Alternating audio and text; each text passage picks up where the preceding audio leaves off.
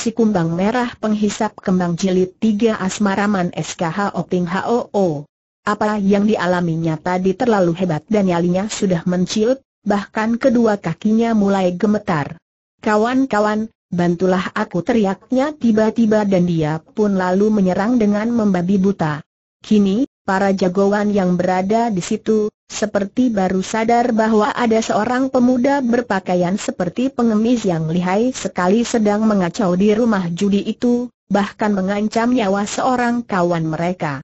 Belasan orang jagoan, baik yang bertugas sebagai penjaga keamanan di situ maupun yang datang sebagai tamu dan penjudi, segera mencabut senjata masing-masing dan menyerbu ke arah Bun An. Pemuda itu sudah marah sekali. Serangan Macun yang membabi buta itu disambut dengan tamparan keras ke arah lengan Macun.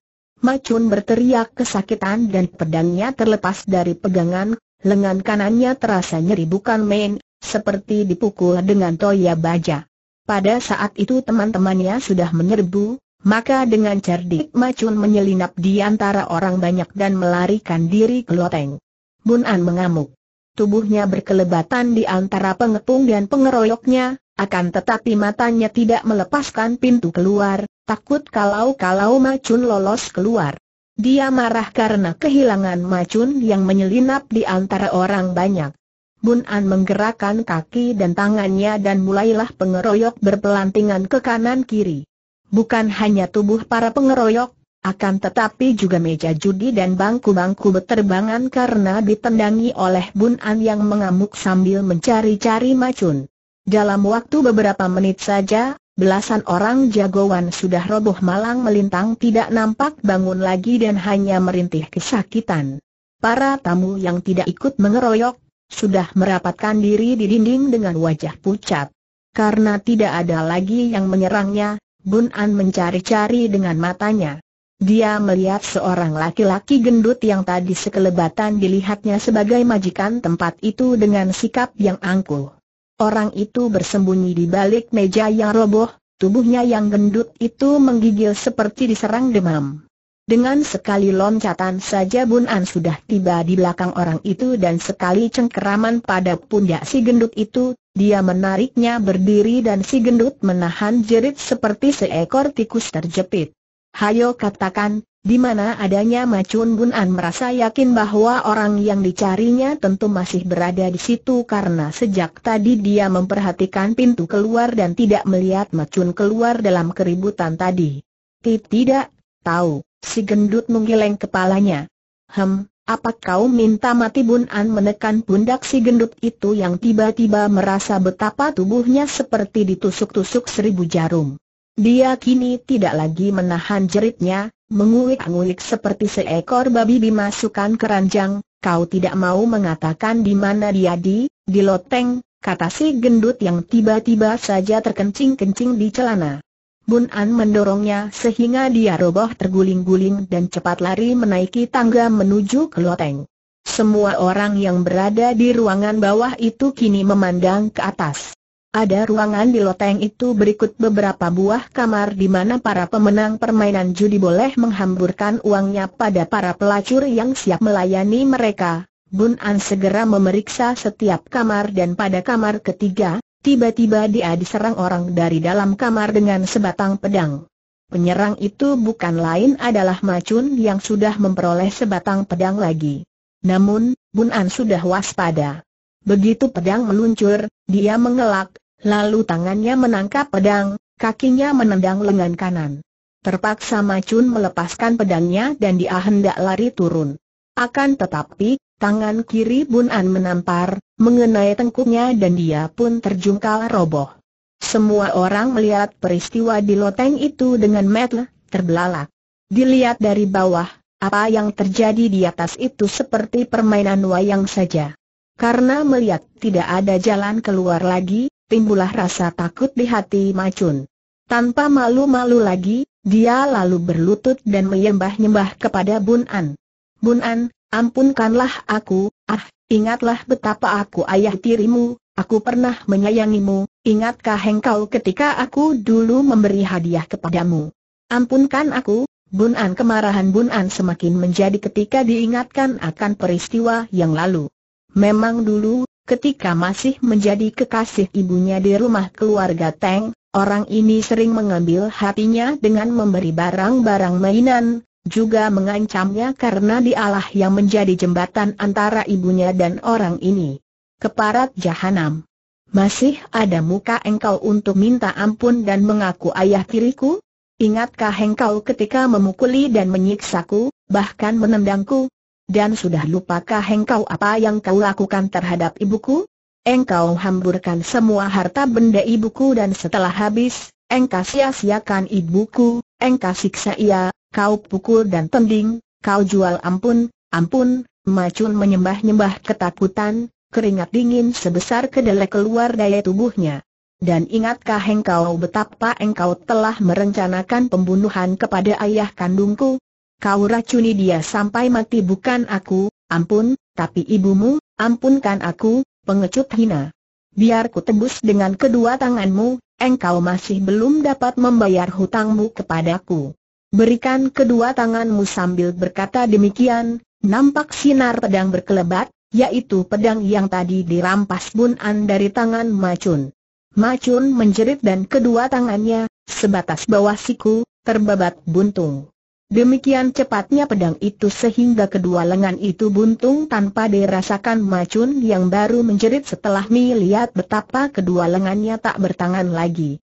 Dengan kakinya Bun An menendang kedua potongan lengan itu ke bawah loteng. Semua orang memandang terbelalak, muka mereka pucat karena ngeri melihat dua buah tangan itu melayang jatuh di atas meja judi. Macun menjerit-jerit ketika Bun An menghardik, dan serahkan kedua kakimu untuk membayar hutangmu kepada ibuku kembali pedang berkelebat dan Macun mengeluarkan jeritan yang lebih mengerikan lagi ketika tiba-tiba saja kedua kakinya, sebatas lutut, terbabat buntung oleh pedang. Tubuhnya terpelanting, berkelojotan dan mulutnya masih merintih-rintih, Bun An juga menendang kedua potongan kaki itu ke bawah loteng. Kini semua orang menggigil. Sekarang, berikan kepalamu untuk membayar hutangmu kepada ayah pedang berkelebat dan tubuh macun tidak bergerak lagi, tidak menjerit lagi, melainkan darah saja munkrat-munkrat ketika lehernya terbabat buntung oleh pedang. Kepalanya ditendang dan menggelinding ke bawah loteng. Bun An melempar pedangnya dan sekali lompat, dia sudah melayang turun ke bawah loteng. Melihat tumpukan uang di atas meja-meja berserakan pula di bawah, dia teringat akan kebutuhan ibunya. Dia lalu mengambil semua uang itu, dimasukkan ke dalam taplak meja, dibungkusnya lalu dipanggulnya. Sebelum pergi, dia memandang kepada semua orang dan berkata lantang, Aku mengambil uang ini bukan merampok melainkan mengambil kembali sebagian dari harta ibuku yang dihamburkan di tempat ini. Kalau ada yang penasaran, Carilah aku, Xiao Kai lalu dia keluar dari tempat judi itu dengan tenang. Tak seorang pun berani bergerak melarangnya, bahkan tidak ada yang berani bergerak sebelum Bun An pergi jauh dari tempat itu. Dengan uang yang diambilnya dari tempat judi, Bun An mengajak ibunya untuk pulang ke dusun tempat asal ibunya. Di dusun ini, Bun An membeli rumah sederhana dan sebidang tanah. Karena desakan ibunya, dia membuang pakaian jebelnya dan mengenakan pakaian biasa. Jadilah dia seorang pemuda yang tampan dan karena uang yang diambilnya dari rumah judi tidak terlalu banyak, hanya cukup untuk membeli sebidang tanah dan pakaian untuk dia dan ibunya, perabot rumah sederhana, maka uang itu pun habis dan Bun An bersama ibunya harus bekerja di lading untuk keperluan sehari-hari. Beberapa bulan kemudian, setelah ibu dan anak itu hidup tenang di dusun itu, Kui Hui mulai membujuk putranya untuk menikah. Usiamu sudah cukup, anakku, dan aku pun sudah ingin sekali menggendong cucu. Gadis keluarga Lui di dusun sebelah amatlah cantiknya, merupakan kembang dusun-dusun di daerah ini. Aku ingin melamarnya untukmu, Anku, Bun An tersenyum. Memang, usianya sudah 20 tahun lebih, dan dia pun sudah pernah melihat gadis yang dimaksudkan ibunya itu. Gadis keluarga Lui itu bernama Kim Bwe berusia 18 tahun, dan memang cantik sekali bagaikan setangkai bunga Bwe. Maka dia pun mengangguk dengan senang, menyatakan setuju. Pinangan diajukan dan diterima dengan senang oleh keluarga Lui, apalagi karena keluarga itu melihat Bun An adalah seorang pemuda yang tampan sekali. Juga rajin bekerja, dan masih berdarah bangsawan, karena kepada perantara Kui Hui membisikkan bahwa putranya adalah turunan keluarga Tang di kota raja yang pernah menjabat kedudukan tinggi. Pernikahan dilangsungkan dengan sederhana namun cukup meriah bagi penghuni dusun, dan Bun An memboyong istrinya ke rumahnya. Karena memang istrinya memang cantik manis dan lembut, mudah bagi Bun An untuk jatuh cinta kepada Lui Kim Bwe dan selama berbulan-bulan sejak pernikahan mereka, kedua orang suami istri muda ini hidup berenang dalam lautan kemesraan dan nampaknya saling mencinta. Akan tetapi, Diam-diam wanita muda yang pernah menjadi kembang dusun itu kadang-kadang merasa menyesal dan kecewa bukan main. Setelah gairah api berahi mulai mengecil dan tidak sepanas pada masa pengantin baru, istri yang masih muda belia ini mulai melihat kenyataan betapa ia masuk ke dalam kehidupan keluarga yang amat sederhana, kalau tidak dapat dinamakan miskin. Suaminya memang tampan, akan tetapi apa artinya ketampanan kalau kehidupan mereka demikian sederhana, bahkan sama tidak mewah? Memang, harus diakui bahwa sebagai istri petani muda, ia tidak kekurangan makan. Akan tetapi makanan sederhana, dengan sayur-sayur, jarang bertemu daging. Dan pakaiannya. Sudah hampir setahun ia menikah, belum satu juga bertambah pakaiannya dan ia harus memakai pakaian-pakaian yang dibawanya dari rumah, walaupun memang pakaian itu belum rusak. Sejak masih muda sekali, Kim BWM menjadi kembang di dusunnya, bahkan kecantikannya terkenal di dusun-dusun tetangga, dan banyak sudah pemuda-pemuda anak orang kaya, bahkan orang-orang yang memiliki kedudukan seperti kepala dusun dan lain-lain tergila-gila kepadanya. Akan tetapi orang tuanya memilih dan menerima pinangan Teng Bun An. Tadinya ia mengira bahwa Teng Bun An selain seorang pemuda tampan, juga tentu anak kaya raya karena bukankah dikabarkan bahwa Teng Bun An puter bangsawan tinggi di kota raja yang sudah meninggal. Tentu menerima banyak warisan, sebagai putra bangsawan. Akan tetapi, setelah menjadi istri Bun An, ia melihat kenyataan bahwa pemuda itu sama sekali tidak memiliki apa pun kecuali sawah ladangnya yang tidak berapa luas, dan rumah yang sederhana pula. Setelah pernikahan itu berjalan setahun lamanya, barulah wanita muda bernama Louis Kim Bwe itu melihat kenyataan bahwa ketampanan wajah suaminya saja tidak dapat membuat ia merasa bahagia. Ketampanan wajah itu memang mengasyikan selama beberapa bulan, akan tetapi kemudian ia menjadi bosan, apalagi kalau ia melihat wanita-wanita lain yang kaya di dusun itu atau pendatang dari kota, yang mengenakan perhiasan gemerlap, pakaian sutra halus indah yang mahal, sepatu yang indah pula, naik kereta yang mewah. Mulailah nyonya muda ini bersikap tidak manis kepada suaminya, bahkan ia mulai suka berkunjung ke rumah tetangganya, seorang janda setengah tua yang disebut Bibi Chok dan di sini, ia melampiaskan kekecewaan dan penyesalan hatinya kepada tetangga ini. Ia sama sekali tidak pernah mau membantu suaminya yang sibuk di sawah ladang, bahkan tidak mau membantu ibu mertuanya yang sibuk di dapur dan di rumah. Dan Bibi Ciok, seorang wanita pelacur di kota dan setelah tua dan berhasil mengumpulkan uang lalu pulang ke dusun dan hidup sebagai seorang janda yang tidak kekurangan makan karena memiliki sawah yang cukup, mendengar keluhan dan celaan Kim Bwe, tidak tinggal diam. Ia pun menanggapi, bahkan menyatakan ikut menyesal mengapa Kim Bwe yang pernah menjadi kembang beberapa buah dusun di sekitar situ, yang diperebutkan banyak orang kaya, kini menjadi seorang istri seorang pria yang miskin.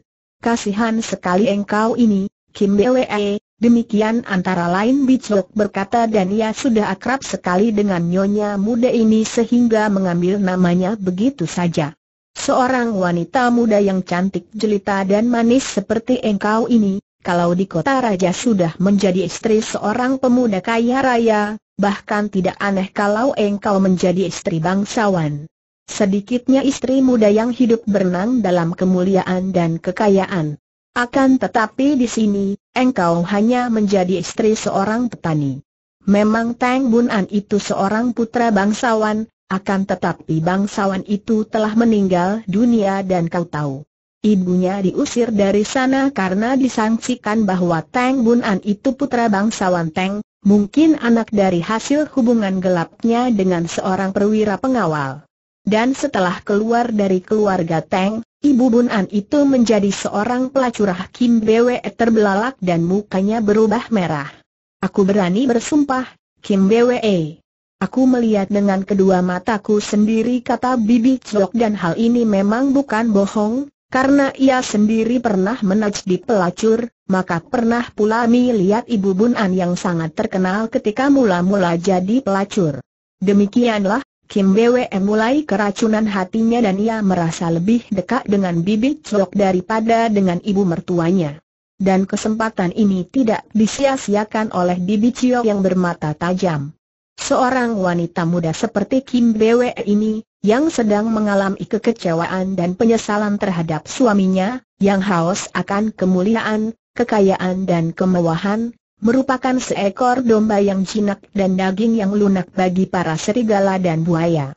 Ia melihat kesempatan terbuka lebar baginya untuk mengeduk keuntungan sebanyaknya. Demikianlah, sebagai seorang wanita berpengalaman, Bibi Chok dapat menghubungi Lai Yun Chu, Lurah Lai, yaitu lurah dari dusun tempat Kim Bwe yang pernah tergila-gila kepada Kim Bwe.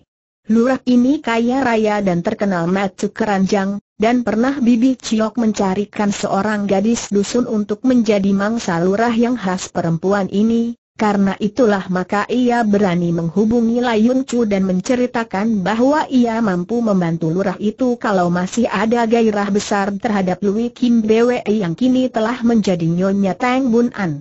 Mendengar ini, tentu saja Seng lurah yang matu keranjang menjadi girang sekali.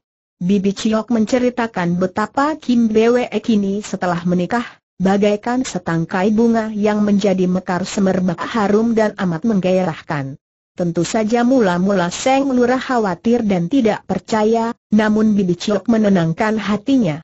Kalau memang Yong Chu berhasrat, jangan khawatir. Saya akan mengaturnya dan takkan ada seorang pun yang mengetahuinya. Setiap hari, suaminya sibuk di sawah dan ibu mertuanya sibuk di dapur. Hampir setiap hari Si Dok cantik itu bermain-main ke rumah saya dan ia seperti anak saya sendiri lalu keduanya mengatur siasat. Seng Lurah akan berkunjung ke rumah janda tua ini, dan Seng Janda yang akan mengatur agar kedua orang itu akan dapat bertemu di rumahnya. Di rumahnya, Bibi Chok juga mulai mengatur siasatnya, seperti seekor laba-laba yang membuat jaring halus untuk membuat perangkap dan menangkap lalat yang bukan lain adalah Kim Bwe. Mulailah ia bercerita, seperti sambil lalu, kepada Kim Bwe ketika nyonya itu datang berkunjung, betapa ia baru saja pulang dari dusun tempat asal Kim Bwe.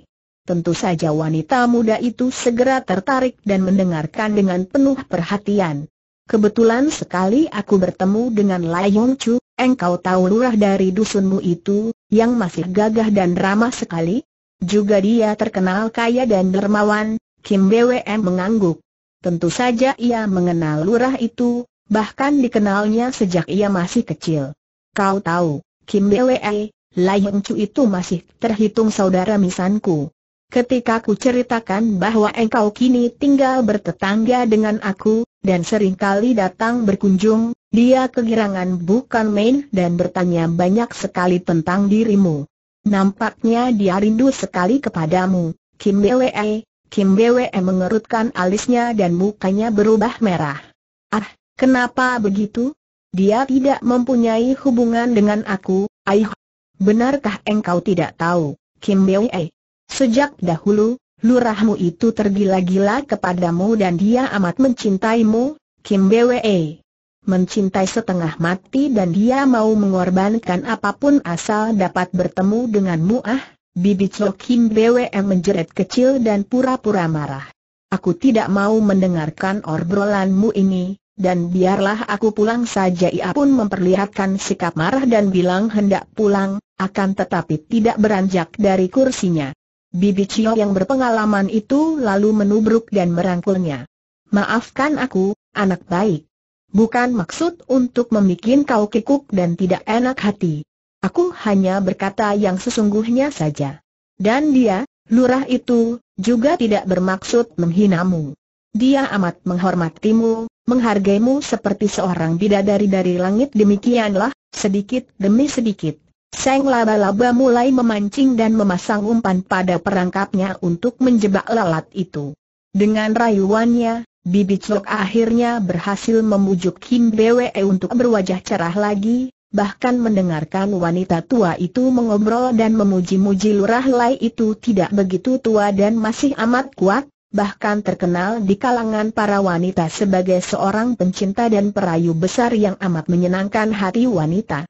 Selain itu, Royal pula dengan hadiahnya sehingga banyaklah wanita-wanita muda, baik masih perawan, janda maupun yang masih bersuami, bermimpi untuk dapat dipilih lurah itu menjadi kekasihnya. Dijejali pujian-pujian atas diri lurah itu, ketika pulang, malam itu Kim Bwe tak dapat tidur. Ia membayangkan wajah lurah Lai yang selamanya belum pernah diingatnya. Dan beberapa hari kemudian, sesuai dengan siasat yang sudah diatur oleh Bibi Ciok, selagi Kim Bwe pagi-pagi sudah datang berkunjung muncullah lurah Lai. Dari luar, lurah itu sudah berteriak-teriak memanggil Bibi Ciok yang berpura-pura kaget. Tentu saja seketika Kim BWM menjadi merah mukanya dan ia pun bangkit untuk pergi dari situ. Akan tetapi Bibi Chok cepat mencegahnya, air, Kim BWE, hal ini hanya terjadi kebetulan saja. Engkau tamuku, dan dia datang bertamu, apa salahnya? Kalau engkau pergi, berarti menghinanya dan juga membuat aku merasa tidak enak sekali. Duduklah, dan tinggallah sebentar saja Kim Bwe terpaksa duduk kembali. Muncullah lurah itu dengan pakaian mewah dan rambutnya tersisir rapi. Dan kedua tangannya membawa beberapa gulung kain sutra beraneka warna, indah sekali. Bibi Ciok, aku datang membawa hadiah untukmu katanya pura-pura tidak melihat Kim Bwe yang duduk di sudut. Bibi Ciok menyambut dengan girang bukan main. Ia menerima gulungan-gulungan sutra itu dan memuji-mujinya. Pada saat itu, agaknya baru lurah itu melihat Kim Bwe dan ia berseru kaget. Air, Bibi Cilok. Siapa, siapa, ah, apakah ada seorang dewi dari langit yang turun Bibi Ciok tertawa genit. Ihaha, masa Yung Julpa? Ia adalah Kim Bwe ya Tuhan lurah itu berseru dan matanya terbelalak, memandang kagum sekali. Tiada ubahnya seorang bidadari, ah, maaf, sungguh aku tidak mengenalmu lagi Nona Kim Bwe, eh, sekarang Nyonya ya, maafkan aku, Kim Bwe sejak tadi menundukkan mukanya yang menjadi merah sekali seperti udang direbus, akan tetapi membuat mukanya menjadi semakin cantik, mulutnya menyungging senyum dan matanya melirik dari bawah. Ah, Yongcu terlalu memuji. Bibi, aku pamit pulang saja, nanti, dulu, duduklah sebentar tanda seru kata Bibi Ciok yang segera pergi ke belakang pura-pura hendak mengambil minuman. Benar, Nyonya, bukankah kita sudah saling mengenal sejak dahulu? Ah, kebetulan sekali hari ini hari baik, aku menerima banyak keuntungan dari kota raja, dari penjualan rempah-rempah dan aku sedang suka sekali memberi hadiah. Bibi Ciok ku hadiahi kain-kain sutera, dan aku pun ingin memberikan hadiah kepadamu. Nah, apa ya? Tidak ada yang cukup berharga untukmu. Biar kuambilkan dari rumah, ku pilih yang paling berharga. Akan tetapi, sementara ini, terimalah sedikit barang ini, dia mengeluarkan sebuah kotak kecil dari saku bajunya, membuka kotak kecil itu dan menyerahkannya kepada Kim Bwe.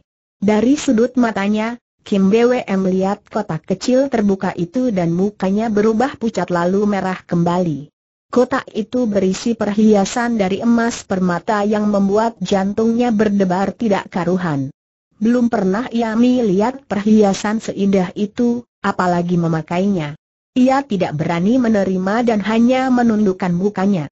Pada saat itu, Bibi Ciok keluar membawa seguci arak dan melihat lurah itu meletakkan sebuah kotak terbuka berisi perhiasan di atas meja di depan Kim Bwe. Ia mengeluarkan seruan kagum. Aih, perhiasan yang begini indahnya. Kim Bwe, engkau boleh menerima pemberian itu.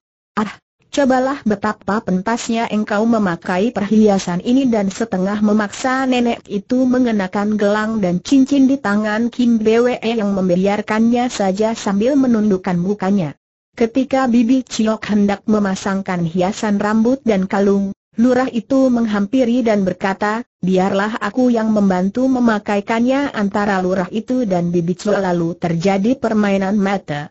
Seperti telah mereka rencanakan, Melihat betapa Kim Bwe manda saja, hal itu berarti bahwa umpan dan pancingan mereka mengena. Bibi Ciok tersenyum, mengangguk dan ia pun keluar dari rumahnya sendiri, untuk berjaga di luar. Lurah Lai lalu mengambil hiasan rambut dan mengenakan hiasan itu di rambut kepala Kim Bwe. Wanita ini menggerakkan kepala seperti hendak mencegah, dan ia kelihatan gugup melihat betapa pintu depan ditutup dari luar oleh Bibi Ciok. Akan tetapi Lurah Lai berseru, air, betapa indahnya rambut. Betapa hitam, halus, panjang, dan harum pula. Dan cocok sekali memakai hiasan rambut. Dan ini kalungnya, biarlah kupakaikan, dan dia pun mengenakan kalung itu di leher Kim Bwe, menyetuh kulit leher, membelainya dan di lain saat Lurah itu telah merangkul leher Kim Bwe, menciumi leher itu lalu ke muka dan memondong Kim Bwe memasuki kamar Bibi Ciok. Kim Bwe hampir pingsan karena malu dan jantungnya berdebar tegang, namun ia tidak berani berteriak karena malu, dan juga pemberian itu telah melunakkan hatinya dan ia pun mandah saja ketika lurah lain menyatakan cinta dan kagum dengan perbuatan. Demikianlah, Betapa berbahayanya menjadi seorang wanita kalau menghadapi rayuan pria. Pria yang sudah tergila-gila kepada seorang wanita akan mempergunakan segala daya upaya untuk menjatuhkannya. Dia tahu saja apa yang menjadi kelemahan hati seorang wanita. Dan kelemahan itu yang disinggungnya sehingga si wanita akan jatuh dan taluk.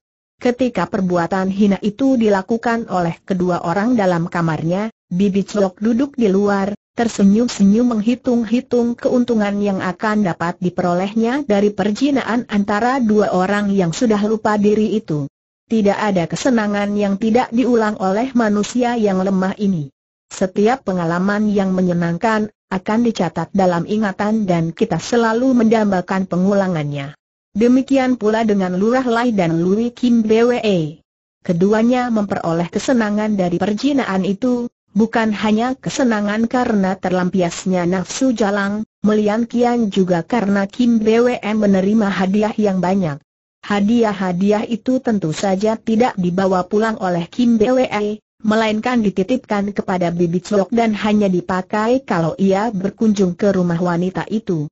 Namun, sepandai-pandainya orang menyimpan bangkai, bau busuknya akan tercium juga, sepandai-pandainya orang menyembunyikan api, asapnya akan mengepul juga. Demikian pula dengan hubungan gelap antara Lui Kim Bwe dan Lurah Lai. Mulailah menjadi perguncingan para tetangga ketika tanpa disengaja, seorang anak kecil yang kebetulan bermain-main di dekat rumah Bibi Ciok melihat kedua orang tamu itu, dan pada hari-hari berikutnya, anak itu sering melihat mereka. Hal ini diceritakan di luar dan ramailah penduduk mulai membicarakan hal-hal yang mencurigakan ini. Akhirnya, berita itu sampai pula ke telinga Tang Bun An. Mula-mula, Bun An tidak percaya.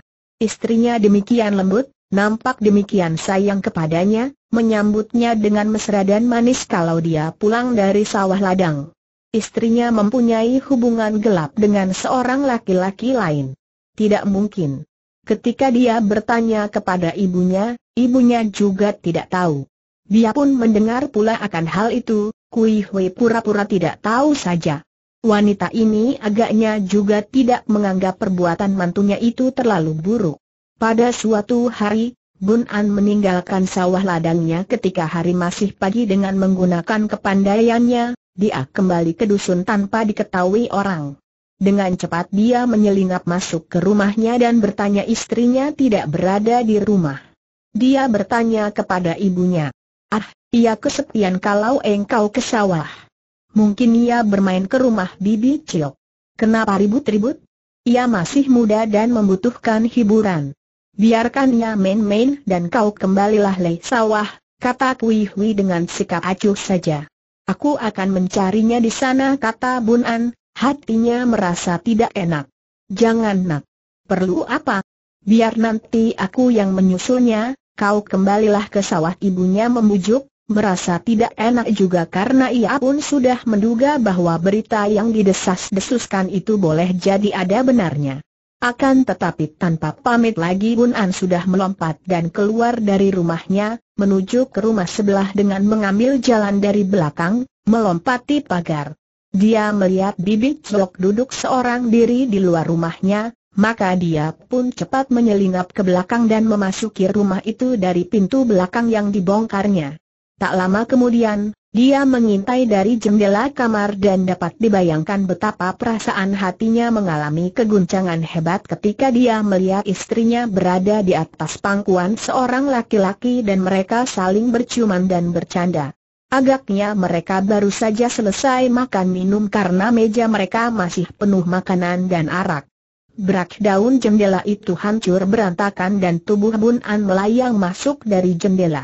Dua orang yang sedang bermesraan di dalam kamar itu terkejut bukan main. Apalagi ketika mereka mengenal siapa yang memasuki kamar melalui jendela itu. Selama menjadi istri Bun An, Kim Bwe tidak pernah tahu bahwa suaminya itu bukan hanya seorang petani biasa saja, tidak pernah menduga bahwa suaminya adalah seorang yang memiliki ilmu kepandaian tinggi. Dan Lurah Lai juga tidak tahu maka kini lurah itu hendak mempergunakan kekuasaan dan kedudukannya. Kami telah bersalah, biarlah aku akan menebus kesalahan ini dengan uang. Berapa saja yang kau minta katanya sambil melepaskan tubuh kekasihnya. Kim BWS sendiri merasa betapa kedua kakinya gemetar dan ia pun berlutut sambil menundukkan mukanya.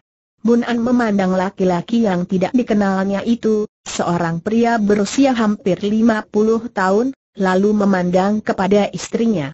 Istrinya mengenakan pakaian sutra yang amat indah, dan tubuhnya penuh dengan perhiasan emas permata yang tidak pernah dilihatnya. Mendengar ucapan pria itu, Bun An melangkah maju, tangannya menampar, tangan kiri Bun An seperti petir menyambar sudah mengenai pinggir kepalanya. Prak tubuh lurah itu terjungkal dan dia roboh tak dapat bangkit kembali karena tamparan yang mengenai kepala itu membuat batok kepalanya retak dan lurah itu tewas seketika. Tiba-tiba pintu daun kamar itu terbuka dari luar, dibuka oleh Bibi Ciok yang masuk bersama Kui Hui. Mereka mendengar suara hiruk pikuk di dalam kamar dan merasa khawatir. Bibi Ciok lalu membuka pintu dan pada saat itu, Kui Hui datang dan ikut masuk karena mengkhawatirkan anak dan mantunya. Begitu daun pintu terbuka, mereka masuk dan terbelalak melihat lurah itu sudah rebah di atas tanah dan darah mengalir dari kepalanya yang retak. Ahaha! Apa yang terjadi ini? Kau, bagaimana berani memasuki rumahku Bibi Ciok yang lurah itu tewas, kini menuding kepada Bun An dengan marah. Sejak tadi Bun An sudah memandang nenek ini dengan wajah bengis. Dia tahu bahwa istrinya telah terbujuk oleh nenek ini, yang agaknya menjadi comblang dan menyediakan rumahnya untuk menjadi tempat perjinaan yang hina. Kini, melihat Bibi Ciok marah kepadanya dan melangkah maju, dia pun mengayun kakinya menendang.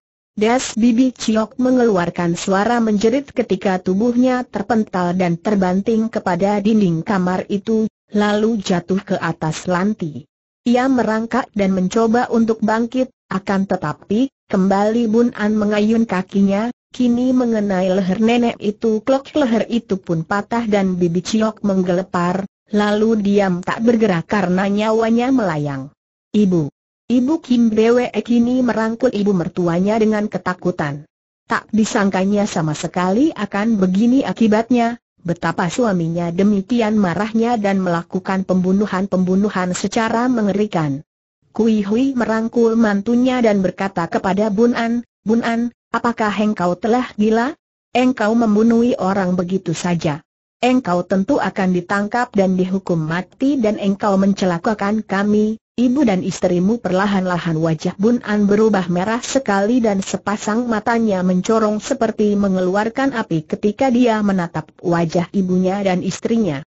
Kalian, kalian perempuan, makhluk jahat, kalian sama saja.